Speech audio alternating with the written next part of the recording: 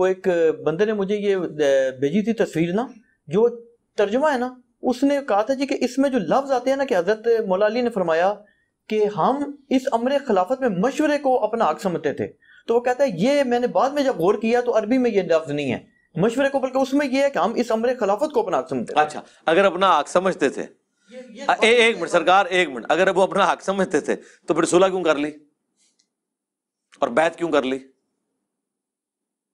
तो उसकी उसकी तो दलील ये देते हैं ना वो कहते हैं जी उनकी ज़िम्मेदारी तो नहीं थी जैसे नबी की ज़िम्मेदारी तो नहीं है लोगों को दायित्व पे लाना। जब सुनने नबी की ज़िम्मेदारी लोगों को हदायत पे लाना नहीं है लेकिन ये अनाउंसमेंट तो करना है ना कि मैं नबी हूँ।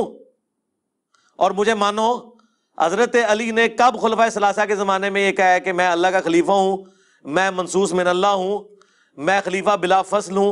अबू बकर को पॉलिटिकल लीडर मानो और बाकी जो सारे मामला हैं वो मैं लेके चलूँगा दिखाए ना। कभी उन्होंने दावा किया, वो तो तीनों खलफा के साथ रहे। और नाजुल बलागा से हमने जो खुतबात पेश किए हैं, ठीक है वो हज़रत उमर के बारे में, जंग कासिया में जाने से जो रोका, रोमन अंपायर के खिलाफ जाने से रोका, वहाँ तो फलां के अल्फाज भी नहीं, उमर बिन खताब मौजूद है। उसमें तो अल्फाज हैं कि हज़रत उमर जब परेशान हुए ना, क्योंकि उन्होंने इरादा किया था कादसिया में खुद लड़ूँगा, क्योंकि सुपर पावर के खिलाफ जंग है तो हज़रत अली ने क्या कहा कि अगर तुम कत्ल हो गए तो मुसलमानों की जमीयत बिखर जाएगी। और अल्लाह का वादा है कुरान में सूर्य नूर की आयत नंबर 55 कि अल्लाह ने खिलाफत इस्टेब्लिश करनी है अहले ईमान के लिए। तो तुम यहीं रहो, अगर कासिया में हमने शिकस्त खा ली तो हम अपनी फौजों को वापस बुला लेंगे और फिर दोबारा से कुमक तैयार करके भेजेंगे। लेकिन अगर तुम मारे गए तो फिर पीछे अरब का शराजा बिखर जाएगा। वो तो इस लेवल की गुफ्तु कर रहे हैं। अच्छा एक एतराज़ ये किया जा रहा है जी कि अहल सुन्नत का जो कदीम किताबों से और प्रैक्टिकल जो रियलिटी से अकीदा साबित है ना खलीफा के क्याम का वो ये है कि ये हजरात एक तो हज़रत बकर वाला तरीका है कि इस इलाके के जो जगह तरीन शख्सियात है उनमें से चंद चुन लें। हाँ दूसरा ये है जी कि जो खलीफा है वो दूसरे को नॉमिनेट कर दे वो चेंज हो गया। तीसरा ये है कि कमेटी बना दी जाए वो चेंज कर ले। और चौथा तरीका वो कहते हैं जी कि इनकी कदीम किताबों में दिया हुआ है जिसका वो कहते हैं हज़रत अब्दुल्ला बिन उमर का भी हवाला देते हैं। सुल्ता के वो के जो तलवार के ज़ोर पे डंडा। चले। हाँ। और इसमें दलील एक उन्होंने ये दी वो कहते हैं जी कि जिस वक्त हर्रा का वाक्य हुआ ना वाक्य हर्रा तो उसमें शदीद तरीन मजालिम किए यजीद की फौज ने इंतहा कर दी जुल्म की। तो उसमें हज़रत अब्दुल्ला बिन उमर चले गए और अब्दुल्ला बिन मुती गलबन नाम बता रहे थे।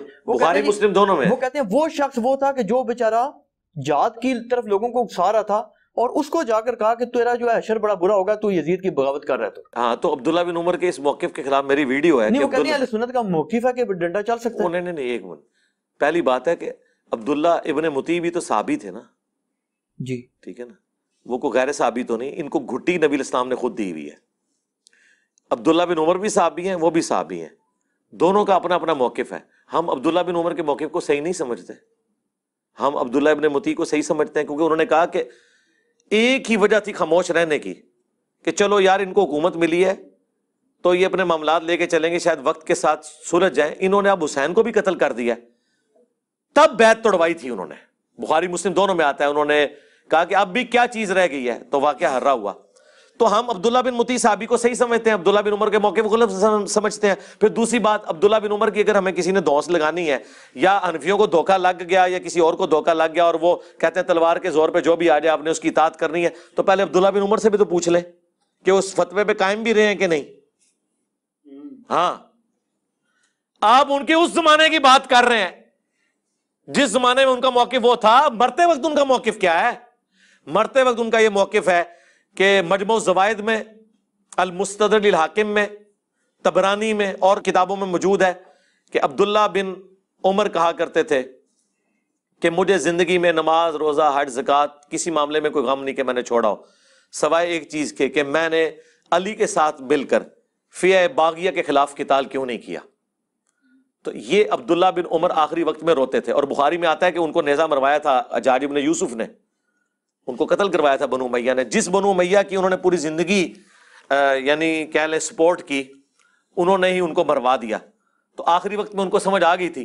लिहाजा अब आखिरी वक्त में जब एक बंदे को समझ आ गई उसको पुरानी बातों का हवाला दे के टॉन्ट किया जा सकता है। उस जमाने में उन्होंने जब मान लिया कि उस जमाने में मैंने गलत किया है। रुजू ही हो गया ना जी सबसे बड़ी बात है।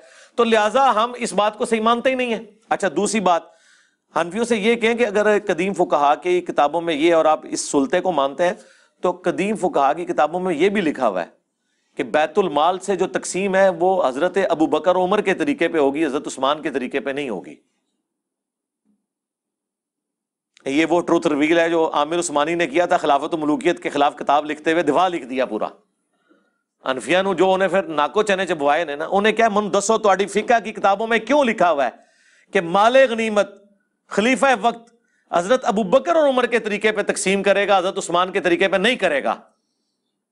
तुम मौदूदी को तो कहते हो कि उन्होंने हज़रत उस्मान के बारे में बात की, तुम्हारी फिका की स्टैब्लिश किताबों में लिखा हुआ है कि माल गनीमत की तकसीम जो है वो हज़रत उस्मान के तरीके पर नहीं होगी।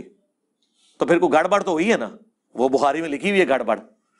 उन गवर्नरों की शिकायत हज़रत अली के पास लोग लेके आए। तो हज़रत अली ने वो मोहम्मद बिन अनफिया को भेजा था कि जाओ उस्मान को ये रसुल्ला का सहीफा भेजो। जिसमें उन्होंने बताया इस तरह तकसीम होना है। तो हज़रत उस्मान ने कहा कि हमें इसकी हाजत नहीं है। तो मोहम्मद बिन जब वापस आए अब्बा जी उन्होंने तो वापस कर दिया। तो हज़रत अली ने कहा, ठीक है, उधर ही वापस रख दो। यानी मेरा काम तो सिर्फ़ पहुँचाना था ना। तो मोहम्मद अनफिया ने ये हदीस उस वक्त सुनाई, सही बुखारी में आता है, जब उनको किसी ने कोई बात की ना इस हवाले से कि तुम लोग तो मुखालफी उस्मान हो, अली के बेटो। तो उन्होंने कहा, मेरे बाप ने अगर उस्मान की मुखालफत करनी होती तो उस दिन करता जिस दिन उसने रसुल्ला की तहरीर वापस कर दी थी। उस दिन मेरे बाप ने उस्मान को कुछ नहीं कहा और तहरीर चुप करके वापस रखवा दी। तो बाद में तुम ये कहते हो कि मैं उस्मान को उसने कुछ करना था। ठीक है, फकी दी थी उन्होंने, फका दिया, बल्कि मम्मी अनफिया ने उस जमाने के नासबियों को।